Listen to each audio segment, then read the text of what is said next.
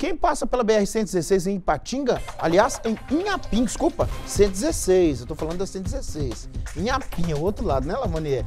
É, já notou uma diferença? A instalação de uma praça de pedágio no trecho, misericórdia. É, eu tô falando na alegria danada aqui, achei que era coisa boa.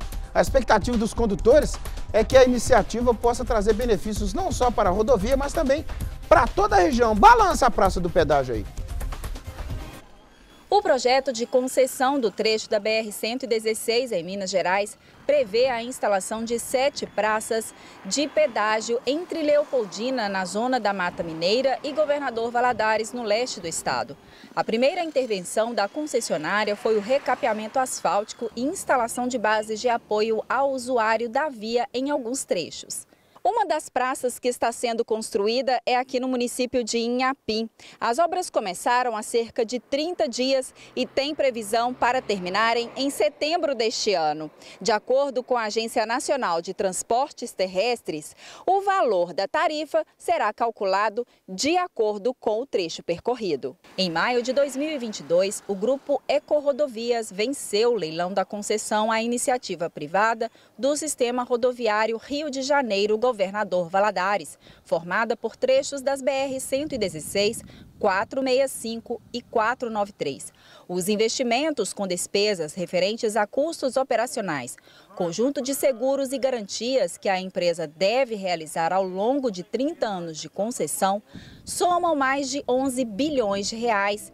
Hélio é caminhoneiro há 40 anos. Ele sempre passa pela BR-116 no leste de Minas e disse que já é possível ver as mudanças. Essa obra aí é ótimo para nós, porque vai ter uma estrada melhor, bem sinalizada, então, eu estou adorando essa estrada aqui. Segundo o programa de exploração da rodovia, as principais melhorias incluem 309 quilômetros de obras de duplicação, 245 quilômetros de faixas adicionais, 61 de vias marginais, 65 passarelas e 68 passagens de fauna.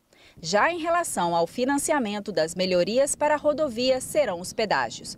Os motoristas que trafegam pelo trecho dizem não se importar em pagar o pedágio para que possam trafegar com mais tranquilidade. Toda segurança que é bem-vinda, né? Que nós precisamos de segurança, é, né? porque é muito carro, está só aumentando o número de carros, né? Para a gente aqui está sendo muito bom, né? Porque uma BR hoje não tem muito buraco, é uma BR mais de fácil acesso e bom para a gente, para todo mundo que passa aqui, né? Pagar não vai ser o problema não, né? Eu creio que não, pelo preço de que vai ser, a, a gente ouviu, eu acho que vai ser uma melhoria e um valor assim acessível para todo mundo. Eu não tenho nada contra não, entendeu? Eu acho bom pagar pedágio, que a estrada sempre boa, evita de acidente, buraco, né? Então eu concordo com, com pedágio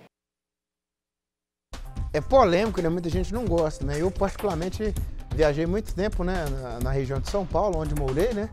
É, 040 ali, quando ia de Juiz de Fora também para São Paulo. Não tem nada contra o pedágio, porque a manutenção na rodovia é lá em cima, meu amigo.